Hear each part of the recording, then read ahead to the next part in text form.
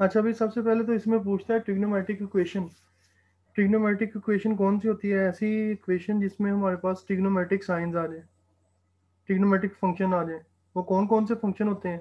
Sine cos tan secant cosecant ठीक है ना? अगर एक ट्रिग्नोमेट्रिक फ़ंक्शन ये देखें ट्रिग्नोमेट्रिक फ़ंक्शन लिखा हुआ है इन्होंने। एक मिनट इधर से